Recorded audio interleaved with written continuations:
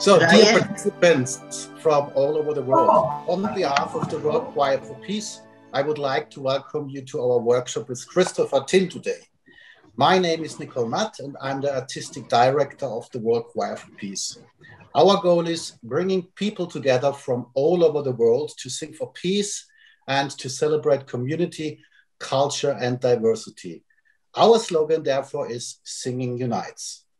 So let me introduce to you now the people who are running this workshop today together with Christopher. So first say hello to Elizabeth Parsons. She's singing soprano in our choir and is working in our organization team. She will do a brief introduction about the workshop and will guide you through the workshop. So hello, Liz. Hi, good evening, good day, good day, good morning, good afternoon. Super. So second, say hello to Alexander Koller. He's singing bass in our choir and he's one of the leading choir masters in Austria. He's responsible for the technical side of our workshop today. Say hello to Alex. Hi. Hello. Hello. Hello. and third, say hello to Helen Osterfield. Helen is a composer. She is singing soprano in our choir and is working in our organization team. She will care about your comments today and asking some of your questions to Christopher. Hello, Helen. Hello, lovely to see you all. Hello. So before we say hello to Christopher, I hand over to Liz for the introduction. Hi everyone and welcome to our chat with Christopher Tin today. We have participants joining us in no particular order from South Africa, Thailand, UK, Philippines, Indonesia, USA, Serbia, Greece, Canada, Singapore, France, Kosovo, Malaysia, Israel, India, Spain, Argentina, Sweden, Mexico, Belgium, Nigeria, Venezuela, Argentina, Ireland, Taiwan, the Netherlands, Trinidad, Germany, and Croatia. Hello to you all. Thank you very much. I mean, it's amazing. And thanks for sending us all your interesting questions for Christopher today. This is our seventh online workshop of 2021, and some have been here since the very first workshop Thank you for your continued support. And we'd like to say to those who are joining us for the very first time, hello and big welcome to you. If you've missed our previous workshops, then you can catch up on them by visiting our website. So far, our workshops have been a real mix of practical workshops and conversations with composers. You can watch all of these back on our website. As usual, the whole session will be recorded and our video will be made available to watch in a few days. So if you prefer, feel free to switch off your cameras, but we'd love to see your friendly faces, so please keep them on. Um, and we will mute uh, your microphones if you've not done so yourself. Please write your comments in the chat, where you're from, your experiences with Christopher Tin, his music, or if you've been conducted by him, and of course, any more questions, we love to read them. Our workshops are free, as, free of charge um, so thanks to those who have already made a donation via either via GoFundMe fundraiser page or through PayPal. For those who are undecided, please consider supporting us. Uh, your contribution will go toward funding future workshops and their promotion, and of course, supporting the World Choir for Peace communities. Thank you so much for your generosity. With all that said, I now have the great pleasure of introducing you to all to Christopher Tin, and I'll pass you over to Helen. Thank you, Liz, and thank you, Christopher, for joining us today, all the way from sunny, sunny America, whilst we're in the rain. um, we were thinking it would be really nice. One of your, I think, your most favourite piece is Baba Yetu, and uh, I believe that Alex has a little YouTube video which we could watch. Um, but this is from Civilization 4, isn't it? Is that right? That's correct, yeah. Mm -hmm. And as far as I'm aware, this is your huge, big break in your career where... Yeah, yeah, I would say so, yeah, for sure. well, let's have a little listen and then we can have a chat about it.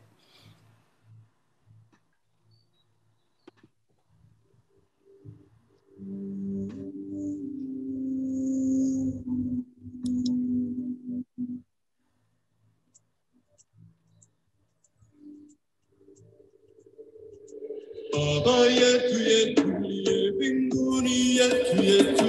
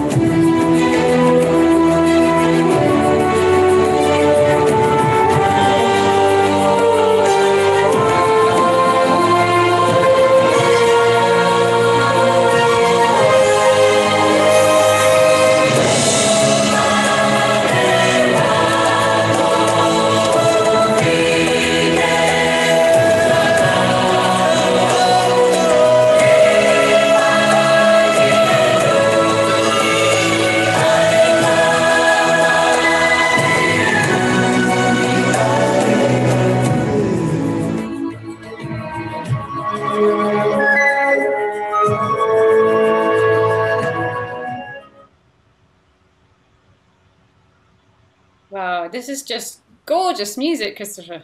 wow, really is. It's really wonderful. It's overwhelming. Um, how did you end up writing for video games? Uh, it wasn't ever anything that I actually sought to do. It was a chance encounter with my old college roommate um, at our five-year reunion. And when we reconnected, um, you know, he asked me what I was doing, and I said I'd moved to Los Angeles, and I was doing some writing on films and, and, and TV shows and things like that. And he said, well, I'm a video game designer now, and I'm working on um, the Civilization franchise. Have you ever thought about writing music for video games? And I said, it wasn't everything, anything that I'd actually thought about doing, but I would love to try it out. And as luck would have it, actually, I, I grew up playing the Civilization game, so I was already very familiar with the game series. Um, and so a few months later, I got a call from him saying um, what he had done was he took some of the music that I recorded when I was a college student um, with my singing group back then, and he mm-hmm. actually put it in the game as they were building the game. Oh, and wow. the entire development team really liked the music that I had recorded, which was sort of this this this uh, African choral music that I did with my singing group. Um, and so they hired me to write a new piece for the game for the opening menu screen of the game. And I, uh, you know, they told me we want something with African gospel vocals and orchestra and big cinematic percussion. And, you know, these were all things that I was very familiar with and I have a lot of experience writing for. And um, I spent maybe about a month writing Baba Yetu, mm-hmm. um, which is actually kind of a slow pace by film composer standards. Usually we're required to write very, very fast, like two minutes of music a day or something like that. Yeah. But um, given this was my first chance to write music for a video game, I wanted to make a good impression on the video game industry. And so I spent a lot of time uh, writing and rewriting and reworking uh, the song. And eventually, um, the end result is the song you know as Baba Yetu now. So that Fantastic. was my first piece of music ever for a video game, actually. And you won a Grammy for this. Yes, yes, that was um, yeah, quite an experience, and that actually happened about six years after the song initially came out in the game. Right. And that's because, yeah, yeah, because Grammy rules are that in order to qualify for the Grammys, it needs to be released on an album it can't just be music that's heard in the right, background right. of a video game or something like that. So um, about four years after the game came out, I released my first album, which is an album called Calling All Dawns, which some of you mm-hmm. probably have sung at least portions of. Um, and for, for, that album, I re-recorded Baba Yetu. So for the first time, it was available um, on a commercially mm. released album, which made it eligible for the Grammys. And about a year and a half later, uh, that's when it won. Brilliant. Well, it's, it's just really powerful, isn't it? It's sort of overwhelming. And if I look in the chat, my goodness, there are all these, I can't read through all these comments with people who love your music, uh, who've sung it with their choirs. I would love to sing it with my choirs. I really would. Um, and you were saying you sang, was it your choir? Did you sing with this choir when you originally wrote music? So you're a singer? Yeah. Yeah, this was a choir um, that I both sang in and directed. It was more of an a cappella group than a mm-hmm. choir, but this is in college. Um, and the group is called Talisman A Cappella. They're at Stanford University, where I did my uh-huh. undergraduate degree. And they specialize specifically in um, world music. And that's where I got a lot of my exposure to world music. Mm. Being the director of this group, arranging a lot of songs for them, mm-hmm. um, recording an album with them. So that that was really sort of my first dip into the waters of you know non-Western musical traditions. There's a nice yeah. question from David concerning Baba Yetu. I'm curious, has there been any negative reaction to using a sacred text, the Lord's Prayer, in a video game? There hasn't, no. I, I think, um, you know, one of the things that I, I did when I presented the song to Firaxis, which is the developer of Civilization, is, you know, I, I showed them the lyrics that I was thinking about using for this piece. And it just so happened that it worked really well for the game because for the first time in the entire Civilization franchise, uh, religion was now a playable element within mm. the Civilization games. So it actually worked kind of well that I was using sort of a religious text, but also it works culturally because most African gospel music is it's gospel music, right? It is religious in nature, and that's just part mm-hmm. of the uh, the history of how um, you know choral singing was used by missionaries to sort of spread the gospel around Africa in the 18th mm-hmm. century, right? So it, it, was sort of a neat tie-in to the actual uh, you know musical tradition of of choral singing in Africa. Perfect. I would love to go further into your music now, but I have the task of talking about your start as a composer, and and I'm just very curious. How did music begin for you? Was it in the family, or at school? Not really in the family, I would say. I mean, my my father played a little bit of guitar, my mother, you know, played a little bit of piano, but nobody was really um, professional musicians or anything like that. I just had an aptitude for it growing up. Right I didn't take it very seriously, I have to say, until I was in high school and college. I mean, oh. up until then, it was just something that, yeah, I'm good at this, but you know what? I really want to do something else, you know? Mm-hmm. And I was very interested in a lot of artistic endeavors back then. I mean, I tend to be very, um, uh, I, I, guess, inspired and fueled by literature and visual arts and drama mm-hmm. and film and, you know, all of these other things, dance, you know, I'm very into uh, creativity across the board, but it just so happens that the vocabulary I speak strongest is music. And um, I think, uh, you know, once I sort of decided that I liked the creative process of making big musical endeavors and big projects and coming up with ideas and, and seeing them through to fruition, that's when I started taking music seriously as a possible career path. Mm-hmm. Um, but it, it takes, I think, a big sort of uh, leap, I think, when you're starting out to think, I'm going to actually do this professionally, you know, be a musician and I have no backup plan really. I'm just going to go for it, right? Yeah. And that's something that it's hard to get to as a young person. Um, but you sort of look for indicators along the way. Maybe, you know, uh, you wrote some songs in high school and your friends really like them and that just gives you enough sort of inspiration to hang in there until you maybe you know write your first big piece and then maybe you get accepted to this college that you're excited about and then maybe you know this happens you know you look for these sort of flags that say hey this is viable and you should do this and you're going to enjoy spending the rest of your life doing that and i think that really solidified for me when um, you know after graduation from Stanford, I got accepted to the Royal College of Music. And I thought, mm-hmm. okay, well, this is it. If you're going to grad school for something, then that is the point where that is really what you're going to make your life's work all about, right? Definitely. That's, that's when I committed. Did you have any sort of real inspirational teachers at either the Royal College of Music or Stanford? Were there I would say there were a number um, at both institutions. Uh, at the Royal College of Music, I had a, a couple of great tutors. Um, one was Joseph Horowitz, who's a noted ballet composer, British ballet mm-hmm. composer, as well as other things. Uh, the other was Julian Anderson. He was my orchestration teacher, and he was fantastic as well. Um, Neil Thomson was my conducting teacher at the Royal College of Music. Even though I wasn't officially a conducting student, he let me kind of sit in the back of the classes and just, you know, join and observe and audit the classes and, and mm-hmm. learn as much as I could. Um, they were all very inspirational. I had some great teachers at Stanford too, including my choral director, uh, Steve Sano, who um, I mm-hmm. still stay in touch with quite a bit. So, mm. you know, I've had a, a great number of inspirational teachers. It's totally essential. And I can see you do so much conducting as well, huge, important orchestras. It's handy to have the skills. I can imagine.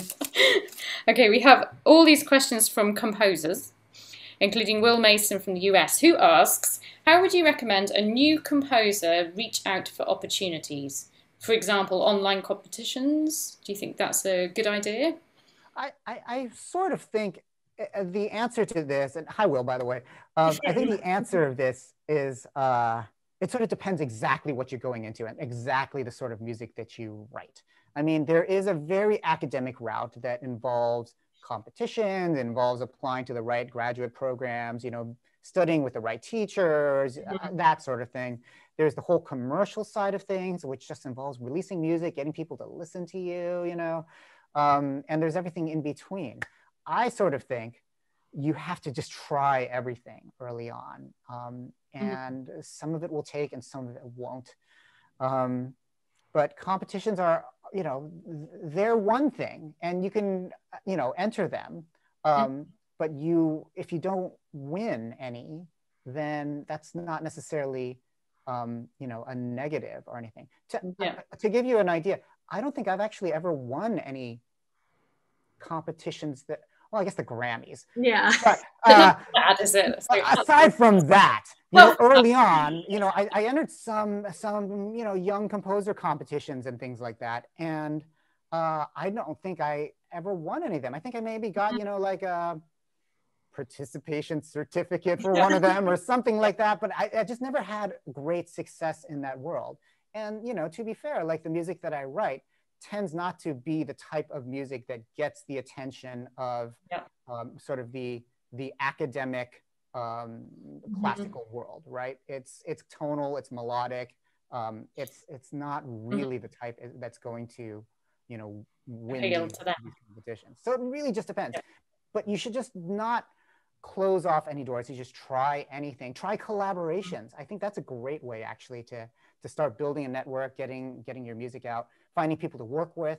Um, you know, if you're writing choral music, finding choirs to write for. I mean, it's a lot easier breaking into the choral music world than it is the orchestral music world. I'll say that. Oh, is it? Uh, yeah, the, the concert band world is actually a lot more open as well too. Concert band and choir, um, mm-hmm. there's just a lot of ensembles out there, and they're looking to perform new music, right? Mm-hmm. And it's it's a lot easier getting stuff performed and eventually published if you're writing for those two ensembles rather than yeah. say orchestral music. So you suggest sort of getting in contact with these choirs and say, you know, I compose these things or I have something ready. That's your advice to to Will think, and to other composers out there. I think, I mean, you know, like I have a friend who uh, um, his entire like strategy was essentially what you described. Like he put together a really nice looking booklet with some mm. of his major pieces, and he sends it out to all the orchestras around the country. Um, and over the years, I've watched it grow from you know a handful of performances every year to you know hundreds of performances yeah. to his music being played at um, the Joe Biden's inauguration ceremony. Wow. Okay. Like, yeah. So it takes time, but if you put your materials together well and you know you write some good music and get good recordings out of it mm-hmm. and just gradually get it out there mm-hmm. um, eventually things happen. So. That's yeah. really great advice. Um, we've also had Joel, oh gosh, can I say his surname? Matanatico Jr. from the Philippines, who has asked, How can I improve my call arranging? Well, without having seen your scores or heard your pieces, I, I can't give specific advice. Um, uh, what I like to try to do whenever possible is I like to just try to make sure I sing through every part myself, just to make sure mm-hmm. everything's there.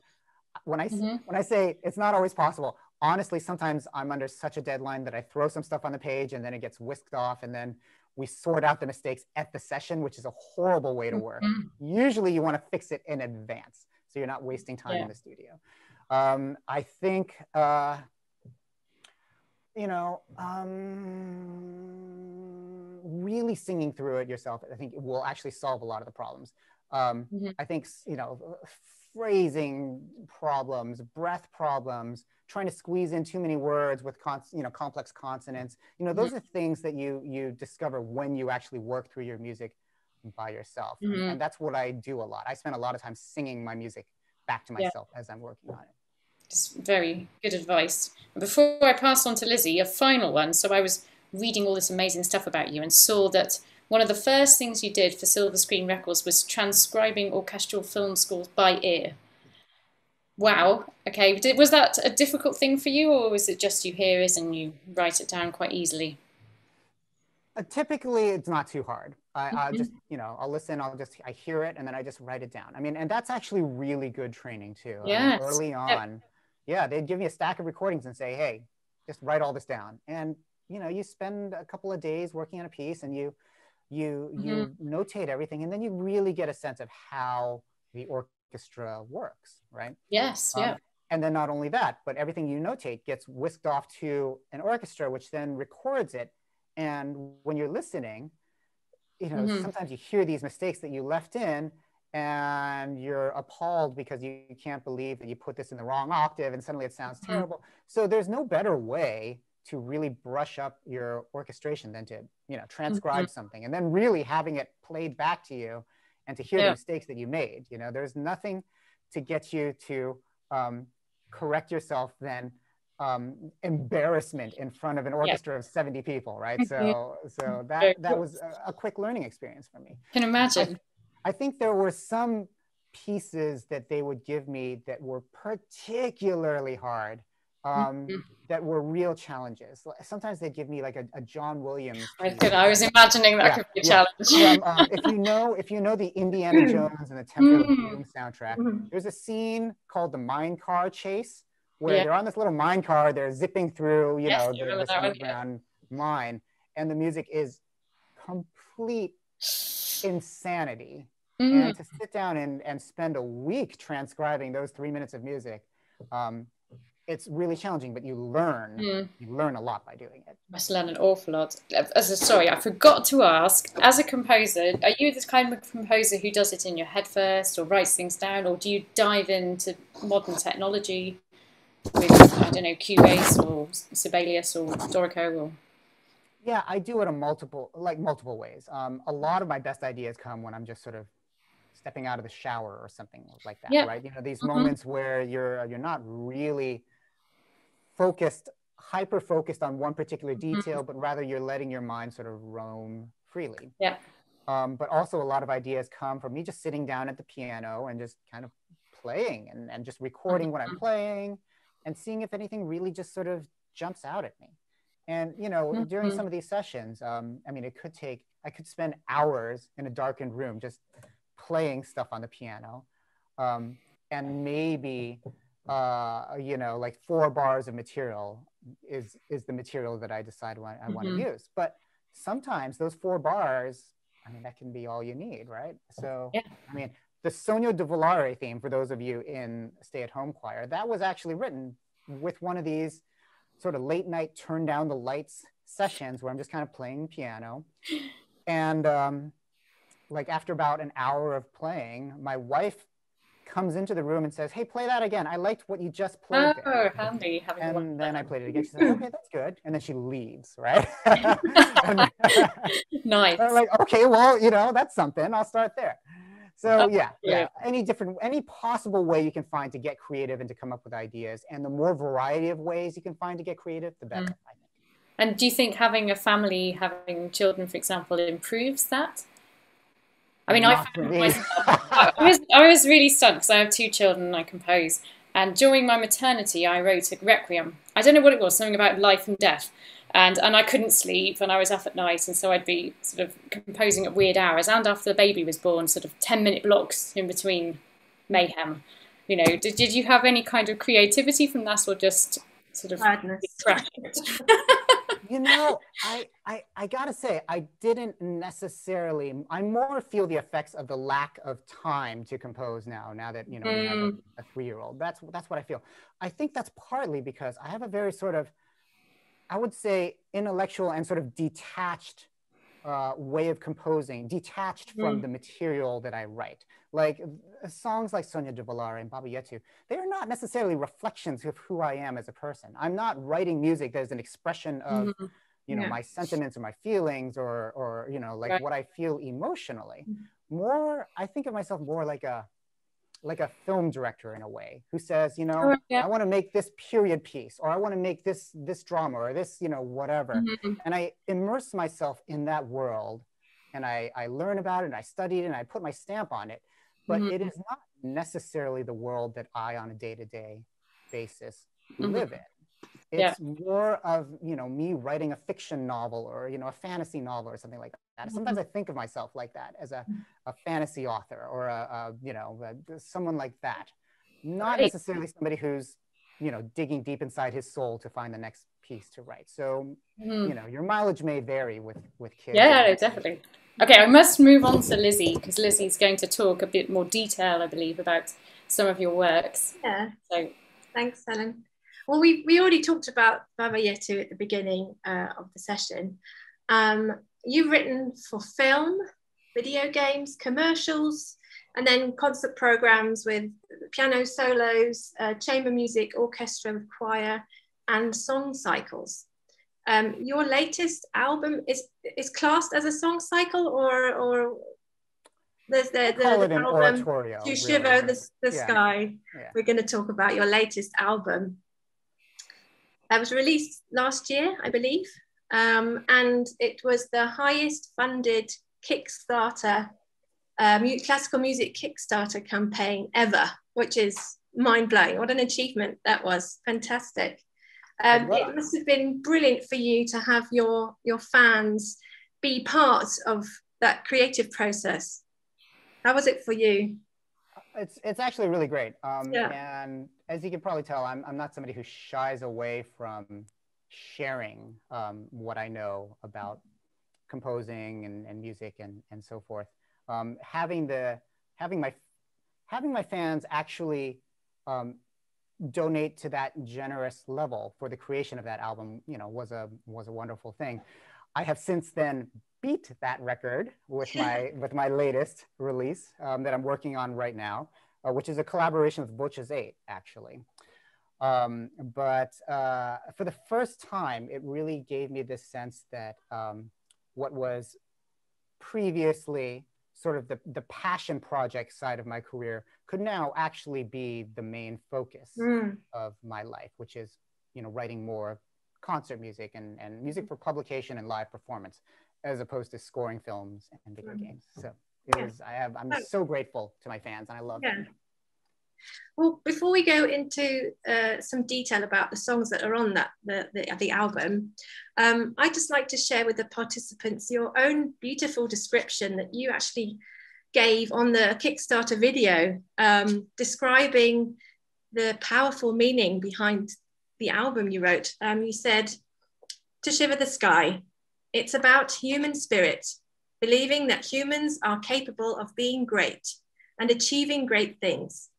It's about courage and having the ability to look at the uncertain and say, I can conquer this.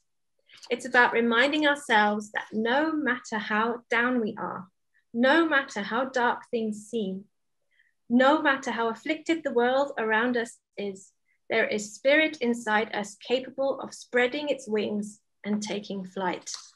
Such a powerful message behind this uh, album. And I, I- I'd, I'd like to know um, what, what was the idea? What was the initial idea behind To Shiver the Sky? You know, it was, um, boy, it really evolved, I gotta Mhm. say. Originally, I wanted to do something vaguely themed around flight and about, you know, uh, you know, in the back of my mind, I had this idea that I was going to do, a, you know, a land album, a sea album, and an air album, right? And and Calling All Dawns was my land album, and the Drop That Contained the, the Sea was my sea album, and then this would be my air album. And eventually, as as most things uh, evolve in my world, you know, I, I sort of come up with ideas, and then I sort of massage them, and then I expand them, and eventually the breadth of the concept gets very, very large. But it all starts from this idea where, you know, I want to write something that's vaguely about flight. And the first piece on that album is Sogno di Volare, which was actually a commissioned piece, um, again, by the Civilization franchise for their game Civilization 6. Um, and the lyrics of that piece are taken from uh, a actually a misattributed Leonardo da Vinci quote, but one that's nonetheless beautiful. Uh, that goes, "For once you have flown, you will always look at the sky, for that is your home, and that is where you long to return." Right. So I, I I love this concept that our destiny is in the stars. Right. That's our home, and that's where we we long to return. And to me, there was no uh, there's almost like no greater um, story in the history of the human race than how we we broke the shackles of of you know, our earthly confines and actually planted our feet, you know, on the moon and, and came back. I mean, there, that's one of the greatest stories we as a people have ever told, mm-hmm. right? Um, and in my mind too, it, this was one of these moments, you know, when we did actually land on the moon, which was such uh, a, a, a, uniting event around mm. the world. Everyone in the world was fixated on their TVs when this was happening. It was just one of these, these amazing moments that brought the world together in a positive way that I don't think we've had since then. I mean, there have certainly been other events, you know, that uh, created a worldwide response. You know, I'm thinking, for example, 9/11. You know, which is also very tragically aviation related, right? Mm-hmm. Um, but you know, there's there's been nothing like that in the last 52 years since it happened, or whatever it is, uh, that has really just pulled together, you know, the, the, global community like this. And I thought it was just an am- amazing story and needed telling. Yeah, that's wonderful. I think we can all relate to the message that, that's in the, out, the whole album. Um, you mentioned Sogno da, uh, di Volare, and that's the first track uh, on, on the album, I believe. Um, and we have we have quite a few uh, stay-at-home choir uh, participants here tonight, and I think I think it's time that we have a clip of Sogno di Volare. This is the stay-at-home choir version, right? Oh, absolutely. Yeah. Bist du B2B-Tech-CEO, Unternehmer im Bereich SaaS und IT, B2B-Dienstleistung oder Engineering und Mechatronics?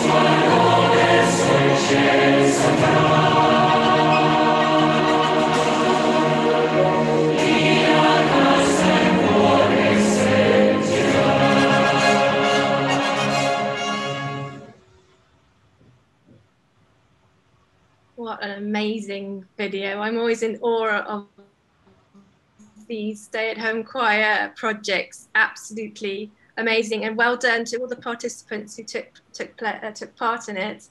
Um, we had so many comments uh, from the registration of when people signed up saying, "Oh, this this project it changed my lockdown. It it's it, it's encouraged me. It's helped me go through tough times." Uh, thank you, Christopher, for for for writing this piece of music and. Um, we have a question from Kathleen McDonald and from Ireland. Kathleen, if you're here, hello. Um, she says, uh, what was Christopher's, what was your reaction to the stay-at-home choir Sogno di Volare video and would you consider doing another project? Oh, well, for sure I would do another one. I mean, I, I think, you know, uh, I've already told Tori and Jamie, look, I really want to do this again. Anytime you'll have me, please, please, please, please, let's do this. Maybe let's do Baba Yetu or something, right? Oh, um, wow, yes. Yeah, I would love it. I would love it. I, I loved working with them and with the, the rest of the, the choir and, and everyone. It was just a great production. And my jaw dropped when I first saw that video, I have to say. I thought it was just mind blowingly um, impressive. Yeah. You know? Um, and I know how much work goes into things like that. Um, I mean, not just you know each of the individual singers. Like I know it's it's really kind of freaky singing to you know your your laptop and then hearing yes. yourself recorded. Yeah. It's just not like it's not the choir experience that any of us signed up for. Mm. Um, but you know, I think everyone did a, a, great job, and then the technical staff did an amazing job putting mm. all of that together. Um, and I, I, think it just it just works so well, and I'm I'm I'm really delighted to see it out there. We, we have an interesting question about the composition from Michael McCormick. Hello.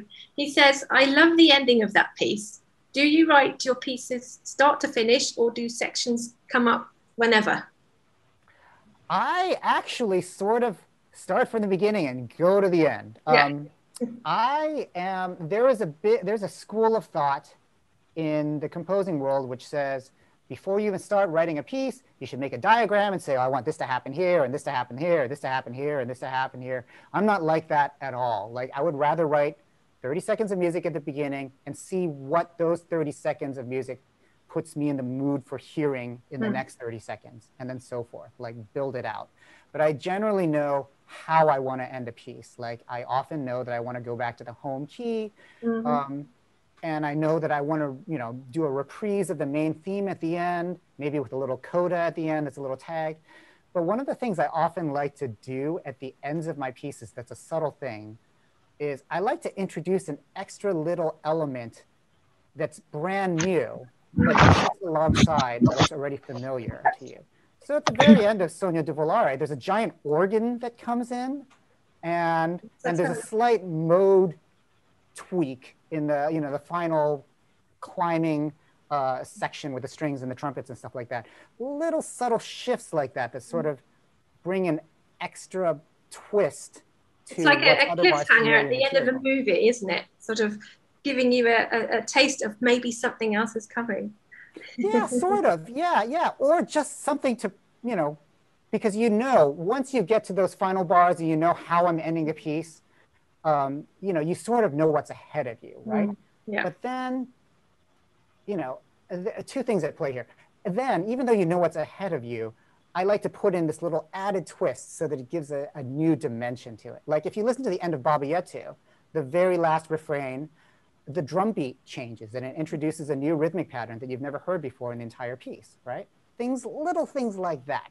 But the other thing is, I think if you construct your main motifs and your main melodic ideas well, even though the audience knows what's going to happen, if you do your job, they'll still be excited to hear it all the way through. And that's to me the hallmark of a great theme. Mm-hmm. Even though you know how it's going to play out, mm-hmm. you still enjoy hearing it from start to finish. In fact, there is sort of an inevitability about the melody. You know, you you hear it and you know you can't you can't turn it off in the middle of the melody. You can't, you know, stop.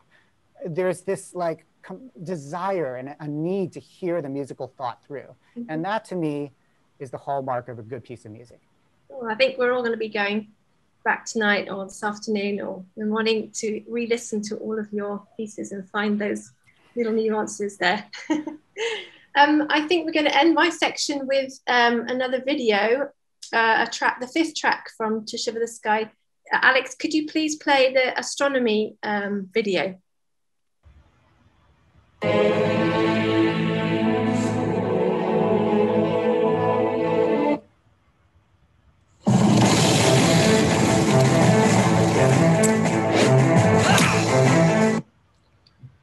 Sorry, it's not in my hand.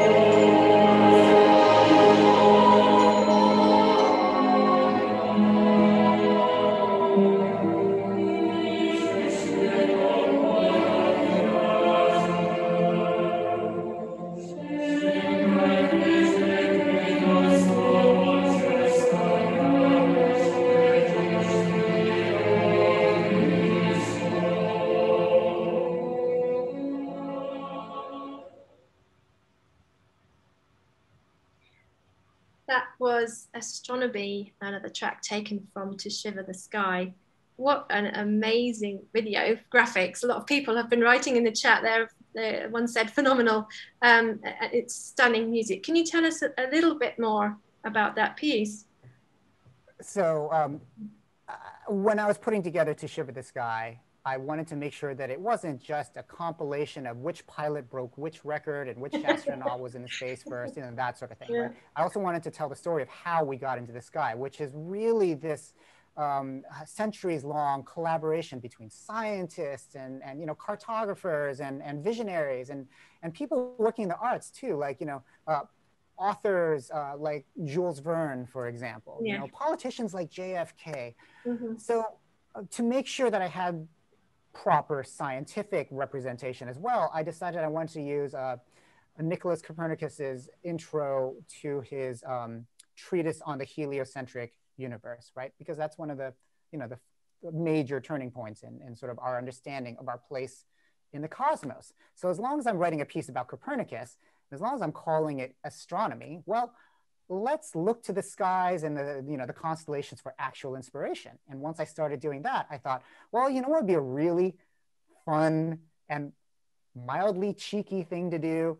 I'm just going to put the constellations in the score myself with note heads, right? And I'm going to try to figure out a way to create a texture that allows me to do this, um, just so that you know, it's, it's like an, it's like what we call an Easter egg, right? It's just something that's a little surprise for people who want to look a little deeper and, and discover something new. And it's just another level of, of meaning and thought that I can sort of inject into a piece because I like for my pieces to have multiple layers of meaning and construction and, and, and concept and thought. So I just came up with the idea. I put it into the score itself, and then um, we had this video made, which really just kind of showcased how it happened, right? Um, was yeah. just, it was just a fun exercise in creativity, which was actually logistically very challenging to. It must have been, yeah. Yeah. How do you make this happen? And how do you make it happen so that it happens with the page turns in the mm-hmm. score, right? Because now the score is confined to certain pages where the constellations have to stay in this four bar structure and this 4 mm-hmm. bars here. And there was just a lot that had to be sort of mm-hmm. figured out to make that happen. You know, all that hard work definitely paid off there. Uh, we will be making all the links to all the, the things mentioned in today's workshop available to you on our website. And if you have any questions, just let us know. I'm going to pass you back to Helen, who's going to talk about the beyond, what's going to happen with Christopher Tin now. Hello again.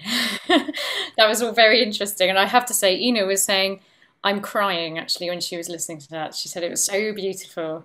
And there are a load of people in York who very much would like you to go there and do this work with them. All these people are agreeing, they're willing to sign up as well. So, um, and York is a lovely place. It you know, is. it's a gorgeous place. Let's definitely say yes to that. Mm-hmm. Okay, moving on to the future then. Um, Kelechi Amadi from Nigeria asks, when and where will your next opera take place? Ah, well, I, I, I would love to write an opera. I'm very, it's something I'm very, very eager and, and interested mm-hmm. in doing. And I actually had a number of conversations with some big opera houses here in the US. Right. Right prior to the pandemic shutting down opera houses around the world. Yeah. So, mm. sort of waiting to, um, you know, like have those conversations again. It's something that I, I'm passionate about. I definitely want to do.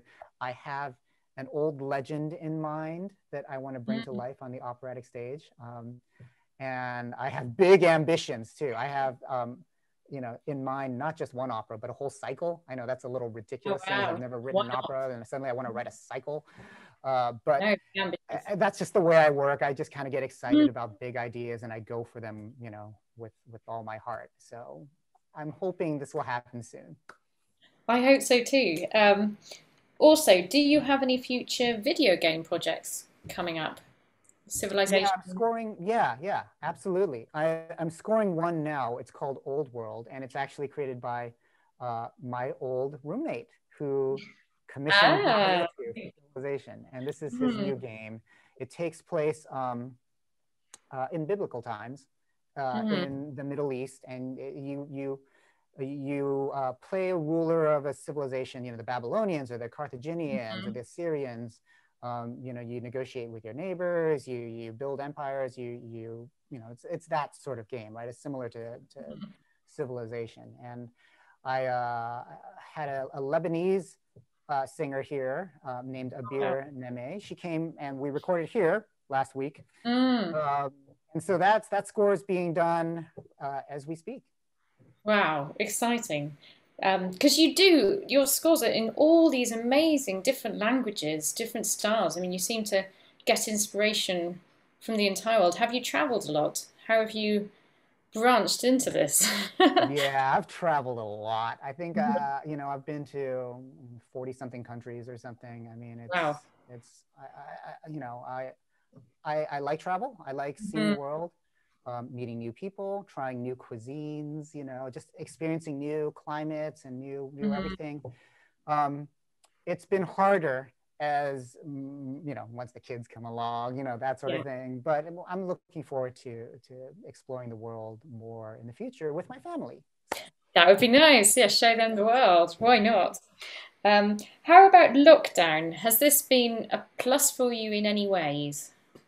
Have there been no, no, not for creativity, maybe pouring it all out through the music? No. No, it's mostly been misery um, yeah frustration and misery i have to say Right. uh, you know there were there are bright spots within it all um, Mhm. you know stay at home choir was a great one i mean It's and big, uh, big uh, you know, like uh, spending a lot of time with uh, the family has been nice. Um, watching my Yeah. my toddler grow has been wonderful. Um, Yeah. So in a way, the lockdown happened at a great time. She hasn't started school yet, so I get to experience, you know, like Mhm. watching her her grow, and it's kind of an amazing thing. That's a beautiful thing, actually, isn't it? It's it is the perfect time to be home. Yeah. In a And I way, did yeah. the first, I did the first stay-at-home choir project as well with Addie Amos and my seven-year-old daughter at the time, her first experience of a choir. So, so you know, there have been some beautiful moments in lockdown. It's been tough, but there have been some lovely moments. The fact that we're all here together with people from all over the world, wow. Um, okay, I think I should turn to Nicole, our lovely director, who has some inspirational questions for you, I believe. Yeah, it so, so fantastic now to, to hear all, all the things about you and, and listen to the music. So I'm really thrilled. It's absolutely super. So I only have one question. So as you know, we are the World Choir for Peace. And of course, I like to ask you a question about talking about peace. So my question is, what is your vision or your wish for the future of our planet? Mhm, that we don't destroy it, that it's livable for future generations. I mean, that's that's that's a concern of mine. Um, you know, we're currently looking at record temperatures here in the U.S., um, and it seems like it's been like that for the last ten years or so. Every every summer, it's like, oh, record wildfires here in California. You know, record temperatures in the U.S. Uh, it's it's it's it's very concerning to me. Um, you know, in the last year, I had a lot of time to think about, um, you know, the music that I make and, you know, a lot of the aspirations that I have for the world and for humanity in general. And I think I've sort of accepted the idea that, in a way, the, the major changes that need to happen are not, you know, I'm, I'm talking policy changes, you know, social changes, all of these sorts of things. They're not the sorts of things that music necessarily can you know solve right? The problems of the world are not something that's going to be solved in a song cycle or an oratorio or a choral piece or anything like that.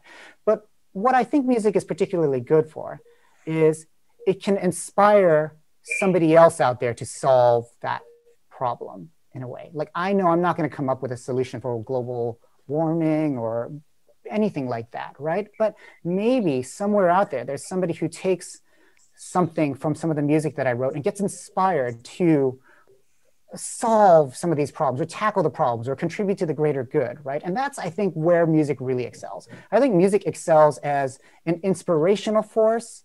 I think it excels, you know, um, emotionally. I think it can really inspire people. I mean, I, I think, you know, music really just can elicit almost a indescribable sense of wonder and feeling and excitement and something, right? And it's my hope that maybe something that I write will, you know, encourage the next, you know, problem solver to really, you know, figure out how to tackle the world's problems, including um, helping us to get to a place where armed conflicts are no longer a necessity, you know, where peace is kind of the, the de facto state, you know, where we can solve our problems not with bullets, but by listening to each other.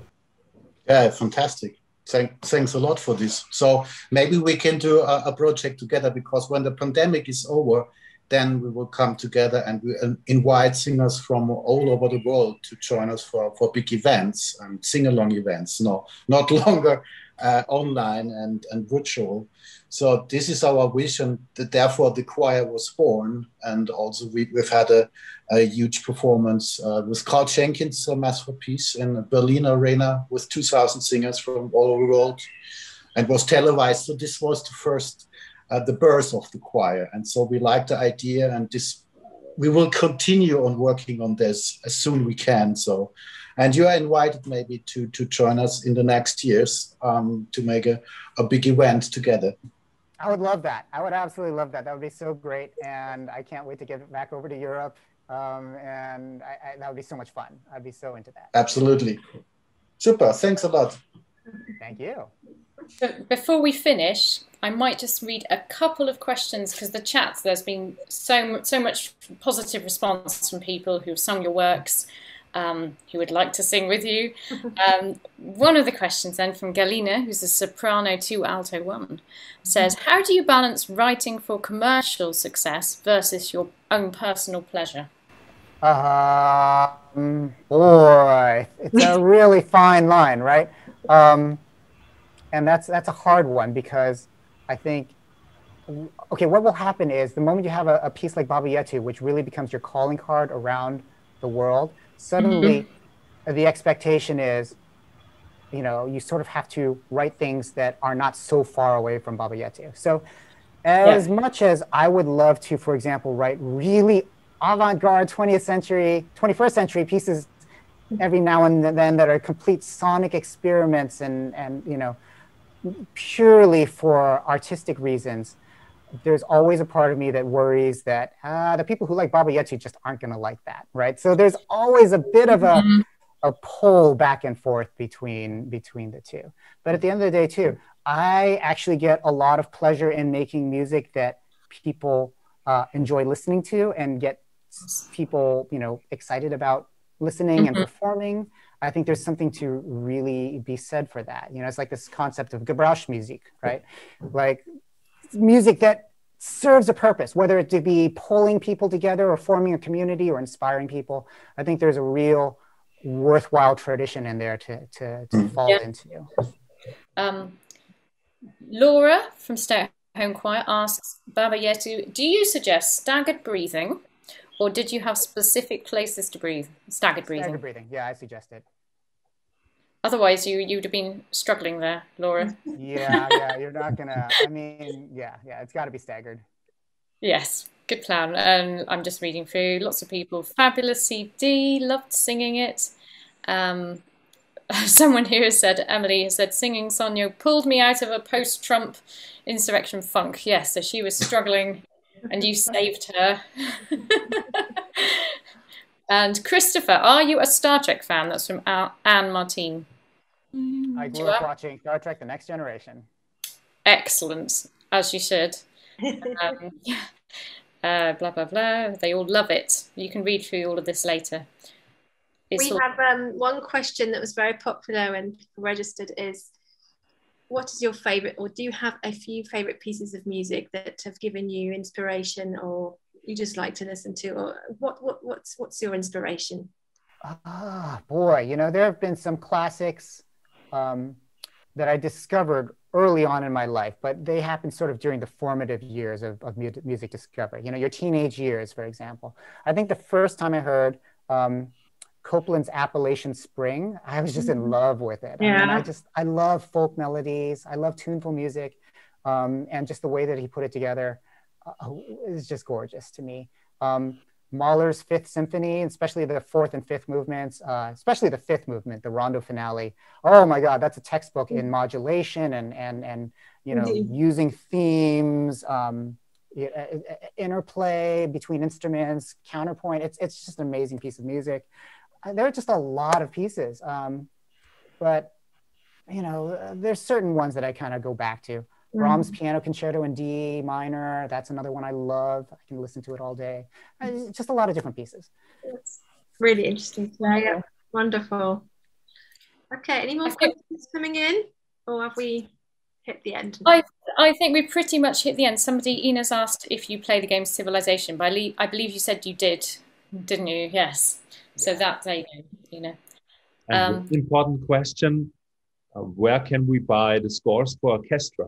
Because Ina Irmler wants to do your music with oh, your please. choir. Uh, Boosey and Hawkes. Um, they have all my materials. Yeah, boosey.com. Lovely. Chris, thank you so much for joining us today. It's been thank a you, everyone. It's a real pleasure. Nice seeing you all. thank you to everyone around the world who tuned in, especially those for whom it's 3 a.m. Yes, absolutely. Yeah. I can't believe how quickly the hour has gone. I think I feel we could talk to you all evening. Uh, thank you so much for chatting with us. It was uh, fantastic. We'll get the video online in the next uh, few days and provide you with all the links and and more uh, on our website. Um, please sign up for our newsletter if you've not done so already for all the latest updates and be sure to follow us on Facebook, Instagram and Twitter we've got some well, one more very exciting workshop coming up before the summer break and it will be great for you to join us again. Finally please feel free to make a donation to support our work. It's really much appreciated. The link to our fundraiser we'll put on our chat uh, in a sec. Thank you so much and have a great rest of your day. Bye everyone. Yeah. bye bye bye bye bye bye Viva la música. Bye, thank you, Christopher. thank you, Christopher. Thank you, Christopher. Bye bye. Thank you. Thank you so much.